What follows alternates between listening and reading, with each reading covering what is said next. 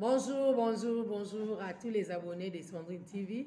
Euh, ça dépend quand la heure oyo beaucoup beaucoup beaucoup ta la nga vraiment surtout beaucoup ta la vidéo na biso beaucoup ta la partage na biso oyo totieli bino vraiment na na YouTube voilà toza euh, lelo toza lelo toza lundi ntango mosusu video kokota na butu okota na ntongo donc ezo dépendre nango kaka air euh, connexion na biso epesa bien voilà je pense à, à miss elongation soit à mimi elonga euh, depuis euh, canada napesi ye bagros bisou ensemble na mobali na ye na bana na ye napesi bino nyonso bambote napesi mpe mbote na coiffeuse na ngai euh, ma coiffeuse euh, charlie lumu voilà akanga masolo tu ya matankumu ma basano ekota kota kota me babi charlie lumu nde makambo gros bisous à toi ma chérie voilà sans plus tarder napesi su mbote vraiment na baye bangai boza tellement nombreux en tout cas bambote ebele ebele bozwa vraiment temps ya kolanda euh, biso à travers video oyo voilà nakende directement na sujet na ngai ya lelo euh, eza kaka dans la vie okoki kosala confiance na nani à qui faire confiance à qui tu peux faire euh, confiance okosala confiance na nani mokili oyo esi etondi makambo ebele okosala confiance na nani et ma grande question nadine mulanga l'intouchable nadine l'intouchable depuis paris babotelo ebele ma copine chérie obakiseli nga mpe susu mwa makanisi ebele toujours par rapport ya sujet na ngai ya lelo oyebisi ngo bisandrine kikamarade ya mokolo mpe eluka baproblème tovanda ovanda ovanda ovanda bokomi na ba 30 ba 40 ba 50 ans okesa kikamarade na motu moko estce kikamarade ya mokolo mpe esimbaka kikamarade ya kimokolo esimbaka il faut yo moko ntongo okesa kikamarade na age wana ya kimokolo meme oza na 20 ans déjà kikamarade ya kimokolo yango wana 15 ans déjà oza déjà mokolo so abengi mutu copine intime na ngai camarade na ngai tokola totanga école primaire azalaki copine na ngai ya classe ya bon de classe tomesani tokoli ye akenda bali ngai mpe na bali tosangisi bana na biso mibali na biso bayebana secret na ye eza secret na ngai yanga mpe eza ya ye donc wana nde babengi vraiment intime na ngai ma confidente mon confident elie nga elie ye ata nasali mbeba abombaka ngai e eh, mokili oyo nde boye mokili etondi makambo ebele kobanga kobanga na mokili fo kosala nani mpenza confiance boyebi na mokili oyo eza na bato mosusu mpenza aya kaka boabima kaka boye camarade moko azwi ye asungi ye amemi ye epa na bango akotisi ye na mwa akotisi na mwa activité moko boye aforme ye apesi ye mwa makambo mais à la fin de tout ça esukaka toujours na bapolémique esukaka toujours na koswana na kokata makambo ebele ebele ezanga motu na makolo voilà vraiment à qui faire confiance na monde ya lelo soit kaka na mokili nani vraiment okoki kosala confiance secret na yo mpenza ya kati okobetela yango na ngai nakamwaka bajeune fille mosusu nakamwaka bato ebele moto oyebaki nde kaka lelo pm so oyebaki nde epa camarade moko boye azalaki relation ya camarade na yo ale yo okomisa esu camarade ozwi basecret na yo nyonso otandeli ye est ce que eza important ozwa basecret na yo otandela ye ntango otanda basecret ntango obimisa basecret na yo tu te rends compte que moto ya kobomba nga to mwa eloko moko moke ekosalama ka entre yo na ye akobimisa elo mpe soki ndeni ayindisi elo mpe ebebeli yo c'est juste une question totuna vraiment lelo bandeko nanga pardon tosungana tosungana tosungana tosungana na mokili fo kosala nani confiance ingratitude eleki makasi na sa moi oyo pire yo eza ka nzambe ya lola kikamarade ya mokolo okutani na moto yango wapi bokoma bakamarade eloko nini econvaincre yo eloko nini econvaincre yo oyo oh, okomisi ye camarade eloko nini yango esali ke donc alakisi yo confiance nyonso kaka bacamarade wana nde bakenda kobimisa basecret na bino ka camarade pire nga pire nga pire nga pire nga elienge eh, elienge e eh, nalati boye pa lati nasombi boye pa sombi lobilobi donc ebimiseli bino baproblème ebele bobandi koswana bopotani bofingani bobimisani basecret nyonso oyo elekaki entre bino moi je trouve en tout cas ce genre de comportement ezalaka bacomportement bato mo baza trop trop trop enfant nde tobengaka bacomportement enfantin Vous, vous, donc vous savez, hein, moi je peux avoir un problème avec moto. Hein. nalingaka te nakende yango gauche droite nabimisa biloko eleka non nyonso correctement totraite dossier oyo toza nango te osali mabe moi likambo nayebisaki yo wana oyebisaki yango oyebisaki epo ani oyebisaki epo ya nini ifa apesa afuti yo nini tosuki no wana nakoloba te omoni mokolo ntango oyaka ntango oliaka fufu obetaka boye ntango osengaka didola otongaka motu boye parce que eza na bato avant sengo mbongo eh? asilisi baninga nyonso loposo atandi ya baninga atongi atongi atongi asisi kapo bakapele so mpe didola so mpe 20 dola donc obomi baninga oswiswiswiswi baninga lokola bangungi ntango esila bongo bakabeli yo liputa bakabeli yo soki fufu apesi yo soki nini non ce n'est pas bien likambo soki ezali botraite yango ndenge eza bobimisaka makambo ya kala te moi je n'aime pas ce genre de comportement nalinga babitude wana te ezaka bien te nde makambo tozomona lelo na mokili na biso vraiment euh, naye na video oyo oh, lelo bomoni foto na tie nazo mosusu na foto ya princesse princesse ilunga nabetaki liso na princesse ça fait mwa bajour déjà nabetaki lisolo ya princesse nde nayebaka princesse nde tosololaka na ye ndenge amipesa mpe epa na nga ornela ilunga mwana moluba leki anita ilunga leki ya bizu ilunga mwana mama na bango na papa na bango leki ya bayaya na ye ya mpe ya baleki na ye ornela ilunga nde nabetaki lisolo ke ngamu na aprochaka ye ti toyaki komisana naye kosala video na nga nalobi bien naza kokamwa suite ya makambo nyonso nayoki concernant ornela ilunga alors bato bazwaki video na ngai bakomisi yango tipa ornela ilunga j'avais bien dit ici na video na ngai l'autre fois que ça fait très longtemps tokosola suna ornela ilunga te nga nalobaki ablokaki nga epoutant mwana bato telefone ezwaki mwa problème elle avait changé azwaki telefone mosusu c'est pourquoi tournais susu ko se communiquer te comme d'habitude nazali komona ete ye mpe amonanga te elle a retrouvé mon numéro aussi quelque part tosoli nde mpe oyo tokai kosola entre ngai na ma copine na ngai ma petite soeur copine en tout cas je l'aime beaucoup parce que aza leki epai na ngai je ne peux pas, je ne peux pas dire ke ngai na euh, princesse euh, du trône toza age mon non elle n'est pas vraiment aza age mon nanga te c'est une petite soeur ke nalingaka mingi na barespect na yo voilà donc bato babengaki bayebisi ye sandrine afingi yo asengi ayebisa nga video nata sandrine citinga okofinga ngai akofinga nga mpo na nini mpo na likambo nini en tout cas bandeko na ngai biso to bapanzi sango nous sommes des journalistes professionnels baparvenus banani banani tokokutana na monde ya youtube monde ya youtube eza nango na condition te mais sala makambo kaka na ndenge ya bien e omona mpe ekende bien dans la vie premièrement si un problème eke oyoki mpe likambo okobenga mpe motu wana tu l'appelle ah ornela princesse ilunga nayoki lomo boye sur na nkombo na yo etamboli bato baoloba bato bazofinga eh, ma bato bazoloba sur yo moi je n'avais pas je n'avais plus son numéro si j'avais le numéro d'ornela dilunga Même si nabengaki alinga yamba te, mais j'allais vraiment laisser un message. Alinga atanga message na nga. Alinga te, alinga te. Alinga toujours atanga message na nga. Et alinga répondre nga. Pour soka tangi nga, en tout cas, à répondre nga. Yem tabisa nga, santo koma lemba. So olingo beta tour, na opeso jour, oye na oto okuta, tovanda na biso. Là, c'est orné là. Bon? je ne suis pas là mpona kovante on est là soit mpe nasalele baeloge non tokeka na likambo nde ezali na bike euh, bajournaliste professionnel bazali baparvenu bazali baoyo mpe bazozwa formation kaka na youtube baza mpe baza koya courage à tout le monde en tout cas ce que je disais que si un problème faut toujours koya pembeni ya moto wana otuni ye otuni ye ntango makambo na oyoka eza nini est ce que eza yo moto osali boye yo moto osali boye yo moto osali boye en tout cas ngai nayoki euh, diverses euh, réactions hein, na bavideo youtube ebele na bachaîne youtube pa bato ornela ilunga asala kisi atiaka biloko na sala olemo abebisi sandra euh, kambi azwaki sous-vêtement na ye epa bana misala na ye na kati ya ndako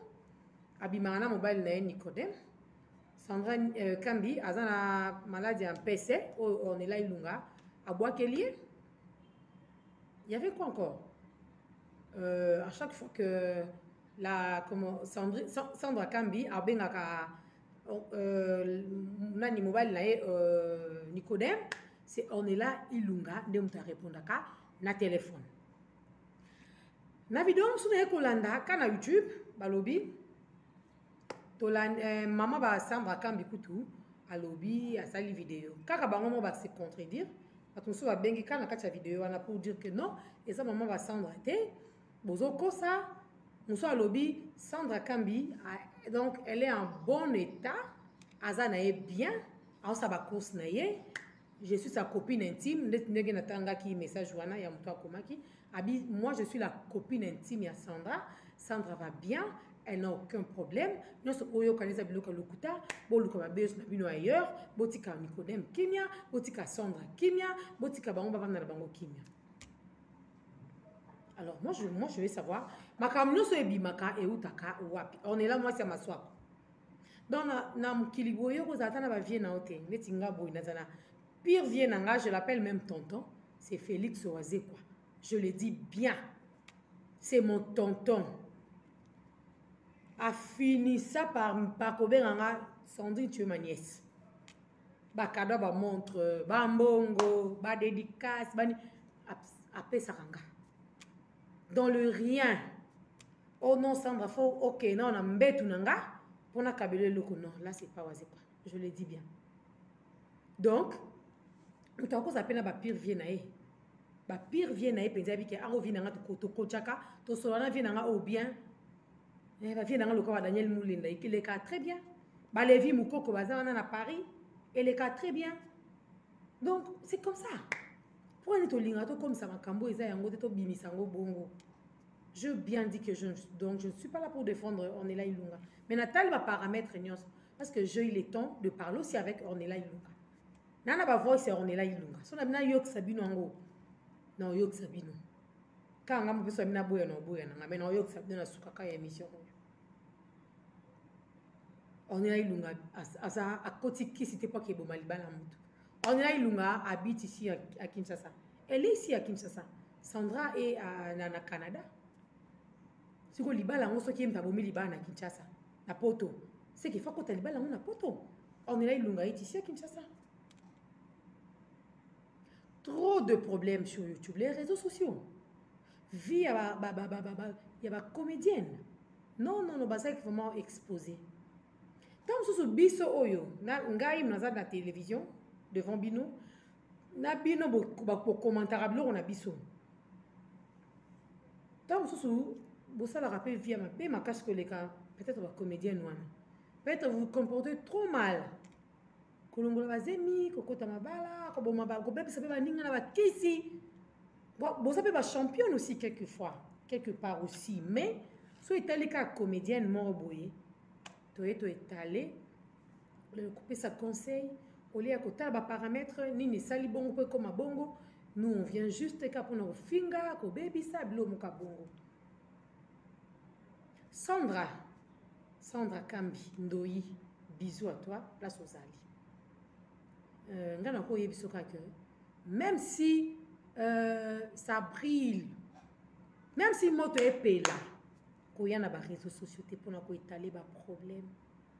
Tala lokwa euh, papa Nico ndenga salir maman Moseka. Et na, na nyoso wana likolo nango aoloba ke ezalaki ezalaki demon eza demon nakoteli ye donc il faut toujours avoir le temps de réfléchir avant koya koexpose likambo moko na, na média na presse en ligne que nous sommes euh, tous là aujourd'hui il faut toujours kozwaka temps ya kosala hein? ozwi vraiment temps ya koréfléchir très très bien est ce que so nasali likambo oyo retour eya to eya te je peux faire ça comment pour que mabe ekomela ngai te na sens wana surtout ornela elunga nano abali te mwasi so abali te babengaki ndumba là c'est vrai nazali na petite sœur na yango babengaki ndumba mpa tantine mwa tomboka tantine nabi soki mwasi abali te babengaki ndumba ya yabi te na boyi donc c'était juste euh, exemple ya moke kaka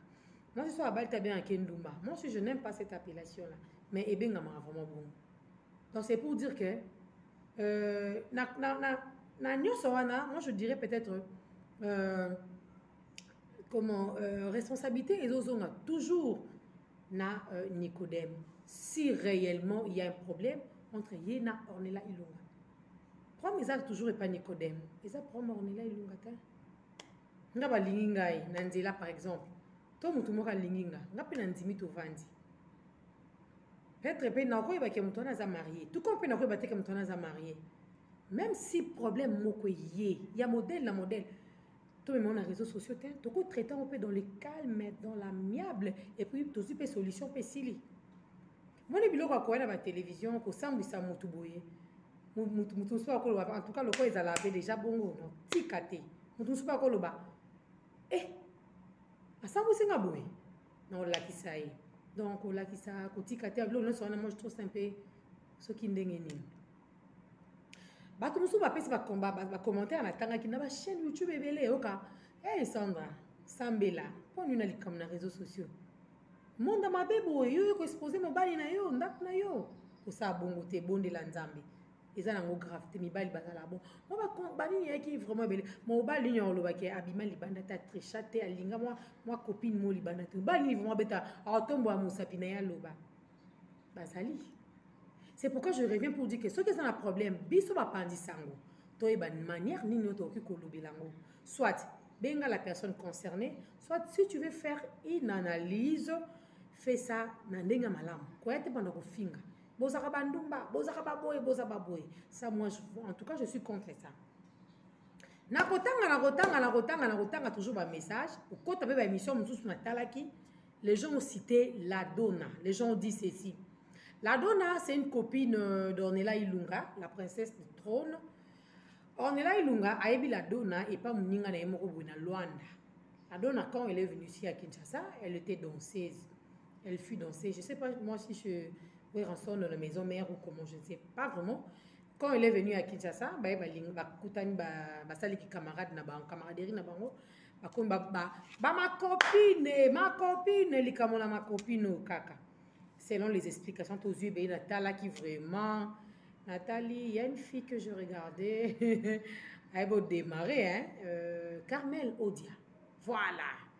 mm. eh, bodemare na ndenge moke te voilà c'est un peu ça atalaki mwa baréaction ebele ebele ye carmel mpe azoloba soki eza ka nde baoloba ya solo wana keza euh, la fille la koma don mais la dona en tout cas ce n'est pas bien eza bongo te bacamarade eh, apesa mpe baconseil ne na ndenge na ye mosusu je viens pour dire que si c'est la dona en tout cas oyo oh, toyoki ke bamakambo nyonso ezobima ya princesse c'est la dona c'est la dona c'est la dona c'est la qui est la dona réellement c'est qui la dona ngai naluki nayeba la dona nde nani parce que je connais beaucoup plus euh, cardozo hein? ye nde vraimen nayebi parce que elle joue très bien coach mpenza ayebi mosala na ye très bien la dona nayebaki ete nasali effort naluki na tele na bafoto j'avais compris ah c'est tel hein? ok balatanaka oyo oh, alongoli perike na ye ata ya 200 300 apesi moninga tobimi toke ba supermarché ba promenade moninga asombi voiture ye kuna mpe abinga mpe na kosomba voiture ye mpe asombi eh, nde baotie totie mpenza nga bilamba banini basekret na nga mpe mosusu e eh, makopi loyebi mikolo nana motu boyaka nde ezala eh, nakoka motu moko ayaka boyebani mwa incomprehension kaka mwa likambo ya mokie nde toyoki masolo mosusu nde toyoki ka masolo donc eyindi les gens même dit que ti ekomi mpa sandra kambi wana se la dona on ne sait pas la dona ntuka nga funa lukaka la dona tosisani ka likambo na la dona ayebisa nga vraiment soki eza ye soki eza mpe ye intérêt eza nini mpo ye mtaki esala biloko ya bongo mpo moi je ne pense pas une copine une amie oyo nabengaki intime tolia tolamba bafufu yanga tembele tolia tolatana olongoli mpe mwa 10 dola okabeli ye mpe azwi yo yaye akabeli yo makambo ebele ebele e eh, ladona e eh, e eh, eh, kombuni nani euh, il s'appelle comment encore nicodème azalaki na mwasi ne moko boye na maison mère danseuse asalaki soki mpe fête anniversaire ezali anniversaire ya ladona euh, euh, la princesse mpe ayaki ladona mpe ayi na fille wana place wana nde mpasi ebebelaki bango vraiment ti makambo nyonso oyo boyoka ebima les amis de nos amis sont nos amis eh, ngambo eh? nadine l'intouchable babi oyo eza ngambo eh? tovanda na nani kasi na mokili oyo tovanda na nani ndeti princesse ilunga na minute oyo peut-être bato ebele bayebisa mpe ke ozwi mpo oyokaka te nazwi mpenza pare ya bato ya ndako na bango mama na bango bayaya na bango bandeko nde balobi nde mpe oyokaka te ozwi oza kama copine manani manani ai awa ye moko ayebisa ngai sandrine ngai nazala nga fi ya snap sandrine citenge ngai la princesse du trône nazala nga fi ya snap nalingaka na nga kovivre kitoko nalingaka na nga kozala na relation bien na bato tala relation nde ezolukela nga baproblème sandrine eh, ozwa moninga boye mabe ozwa moninga boye mabe sikoyo na ofanda na nani mivandela mivandela so ozomona ke esimba te mivandela mpo tolembi baexposition bafoto na bareseau sociaux chaque fois eyindi jamais ezalaka ezala mpe eloko ya bien ezalaka eyindi ebebi basambwisi bababababa ti wapi eza conseil nazopesa directement ke na mokili ndeti omoni nga boye nga nazala nanga na bacopine te o oh, camarade intime moko boye non non nazalaka na bango vraimen te nazalaka vraimen na baintime na nga c'est mon jésus mon dieu mon téléphone à moi téléphone na nga natalitali na sekiseki jeu des amis ouais bamasta na nga bazali totanga baklasse totangi na université toyei na ndenge ya mosala bacollègue dans le bon oyo oh, naomona okei na ndenge ya mabe ah je m'arrête natiki ye kei nzela nanga mpe nakei nzela nanga dans le bon dans le bon je répète encore zuwa na kati na kati ya bato e, ebotisaka kaka babiloko ya boye zuwa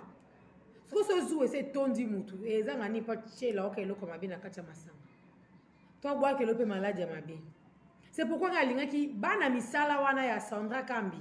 baya kotemone si ornela ilunga asengaki bango sous-vêtement ya sandra pour que sandra akoma loyi na maladi ya mpese oyo akomaki nango parce que les gens disent que sandra kuna aza bien te kimi eza te nani nicodème kuta alobi soki kaka bavoice ebimi bavoice mobo ezalaki soki nde nini ozozwa temps osala live à 2 heures 3 heures du temps 3 heures du temps mama papa na nga eh, obeta libaku ofinga mwa baninga nalingaka basere na nga tour basala baanalyse ya mm, ya kitoko nalingaka bango to bazongisaka bato mpaa na nzela baza vraimen beye nalingaka bango bamare ani makwakala nalela bino fort meme ese depa na ma je t'aime beaucoup nalingako mpo yango ntango osala baanalyse na yo mpe mosusu moi je, je gagne aussi quelque chose na kati wana ezala banalyse ya malamu ezala biloko ya finga te surtout bazwaka ata leçon batiraka ata en plus na kati ya biloko nyonso wana esalaka bien bato basambwe mingi na réseau sociaux théâtre ebebi valeur ya mwana mwasi ya théâtre eza te kosambwa ornela ilunga azalaka lolendo azalaka fiere alatisaka nini alataka nini ekato mobimba kaka ye asilisaka to eye boye eye boye eye boye soki alingi oyo atiki oyo trésor yaba ye mwasi na ye mpe kuna ye azotombokela kaka ornela ye eboye boye yango ornela osimbikisi nini yebisanga mpe kopina oyo nayebi mibali ti bakimaka bandako babimaka mpe libanda eza mpe baconséquence ebele yo moko mwasi tu ne pas tendre obima ntongo oke mosala ozonga 20 heures ozongi boki okoti no na chambre peut-être okomi osala makambo ya whatsapp na yo sona ba ex na yo to otika na kin tu ne t'occupe même pas ya mobali na yo kotuna ta papa boni journée oza bien to ndenge nini mwa tendresse mwa affection te ya 15 minutes pamba eza te bino mpe basi basi biso mpe basi tomitunaka mpo ani mibali na biso batikaka biso apréféré ake kolinga motu mosusu libanda mwa chéri mo pembeni ezalaka du ya koi natala na kopie oyo eza pa fille wana nga mpe nakoma bongo c'est vrai mibali batondaka te c'est vrai atonda te mais ce qui est vrai bongisa mpe na coin na yo pour que oassure mpe mobali na yo sala oyo alingi sala oyo alingi moto mosusu aganya mobali kaka na maloba moto mosusu aganya mobali kaka na koseka na ye esali ye bien mobali ah te fio quand elle sourit seulement epesanga mposa otangele bahéros c'est comme ça langage savoir parler kotransmettre ko ka sourire epa moto tu peux gagner aussi libala kaka bogane mpe libala eyambeli kaka ozoyambela mpe motu elambeli kobongisa mbetu na yo dra na yo bokoza bolalaka papa mama na bebe na bino yango ata ya 8 mois 9 bolalaka na ye kaka nde bolalaki mobali auta ya mosala mobali akuti kaka nde ezalaki yebisanga na ata yo mo mama tomeka vraimen kobongisa mpe bacomportement na biso mpo tokimisa papa na biso pembeni na biso te mpo ngai naboyi te mibali baza bongo mibali baza bongo conjuguer le verbe mibali autant présent c'est compliqué okokana o te bapasi ya kutu bazokima bazosalasala boye bongo sikoyo moto ane pagano to azali kaka croyance simple olukeli bangambo ya nini ngambo nini oyo olukela ye croyance simple te tobongisa en tout cas nasukisa na nga pour dire que princesse du trône zala kimia na ngambo na yo sala makambo etali yo kipe vi na yo les ont dit ezala solo ezala lokuta bongisa kaka yo moko nde oyebi etamboleli na yo bongisa yango kolinga te nkombo na yo ezala salut ezala sali pardon balobi reputation eza lokola constitution te parce que la constitution là on peut la changer plus de 1000 une fois mais pas la réputation on ne change pas la réputation sala makambo malamu nkombo na yo etikala bongo reputation esala nini mpo yo moko oyebisi nga sandrine so nazalaka lokola banani oyo nde bato bazwi nga mpe bafarafara na ngai nano donc na déborde mpe nabebisi bopekisa nga te kosala yango te maîtrise toi tu sais que je t'aime beaucoup je te considère beaucoup maîtrise toi zala na kwe na yo l'autre est là euh, sandra kambi temporise toi kimia na libala na yo kipe mwa ndako na yo na mobali na yo tala makambo etali yo oyo eza conseil oyo nadine l'intouchable alobaki na nga napesa yo zala kimia tous les hommes sont le même tokochange bango te c'est comme ça euh, ladona mpe na ngambo na yo kimia mama soki eza mpe yo te oyo baza kolinga mpe basalire kimia na yo kaka ekovenger soki mpe eza yo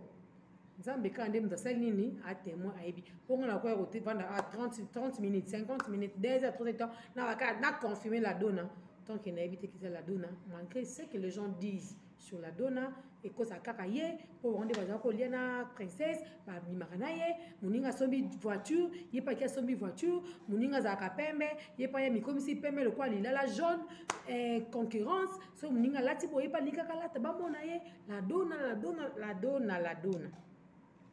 C'est tout ce que je dis. koyebaka kovanda na mokili confiance na mutu te mipesa confiance ndo na moka loba e eh, likambo na nga na meli na ke toilette nabwakeli yango mai esili elekani ekei nakobetela mutu te confiance zero na opesa mutu confiance te Voilà, toko zwa tozi déjà rendez-vous pe na princesse euh, Ilunga. Je pense que tokutana na ye là ça sera la semaine prochaine. To toko toko ah, toko lobisa ye kaka. Malgré oh alala na mbetu ya Sandra. Ala kabu, ala toko yeba nyonso wana. Si il faut pe Nicodème aloba. To lobisa ye. Boye bo gagner batu te. Oyoki likambo, ke na ona maîtrise, okozwa pe bango, vous faire réagir bango. mais soki oke na menace na brutalité na kofinga moto okimisi mpe bango ozanga information solo ta nde ozanga information otuna ngai nabetela bino tozwa princesse prochainement tozwala dona tozwa mpe bebe real mpe alobi nanga sandrine ngai mpe na makambo ya loba tokosolola kaka tokoyeba makambo oyo aza makambo donc euh, merci euh, nde bozalaki ebele pendant ces 30 minutes je vous dis merci je vous aime tant en tout cas abonnez vous et faites abonner vos proches totalisez déjà 2000 abonnés merci vraiment na bato nyonso oyo ebele tomeka mpe kotravaille ensemble tokomi kozela kaka to monétiser je pense que euh, eleka nango très très bien ba gros bisous ba gros bisous vraiment tout le monde souvent euh, ebungaka ngai hein. ah, bato bakimikimi ebungi bakombo eza te mais en tout cas des très très très très très bisous des très gros bisous voilà euh, à tous mes abonnés Sandrine TV yeyo matanga fête anniversaire collation oyo ezite te bobengi numero wana tokoya kocouvrir oza na bandeko bana mboka yo oza na kin pardon oza na poto bandeko baza awa matanga fete eza olingi otala yango soin tv aza wana bozo baexclusivité o oh. baexclusivité o oh. onde nde naobeta yango mbamambamo mais yoka ye kuna soki nga tanga okotanga yango te tout est bien qui finit bien nde tolobi na vie okoki kopesa confiance na nani ata mobali no mpo akotrahir yo donc ata mama aboti mpo akotrahir yo pire yo aza kaka nzambe o na motema na yo yo mokani mokoyeba ndenge ogere makambo no jeune fille contrôler entourage na yo tout le monde aza kaka aza masta na yo te eh, kilikili trop de mélange trop de masolo franchement to numéro whatsapp hein na, na facebook okoma nini trop de bacamarade yango nde ememaka bato boye trop de bacamarade en tout cas nalingi bino mingi nayaka komema en plus na mabota na bino partout et je salue aussi la cousine de princesse ilunga depuis quelque part hein? napesi ye mbote mpo ye nalobi non émission ezalaki kitoko sandi nalobi na ye bien nalobi mabe te kani nalobi boye nde mpe nalobaka donc je ne peux pas venir devant la caméra papa wana nda ofinga bato eh, mama biso osilika makasi alingaka bongo te martin mwamba euh, ba bonjour bonjour à lea bea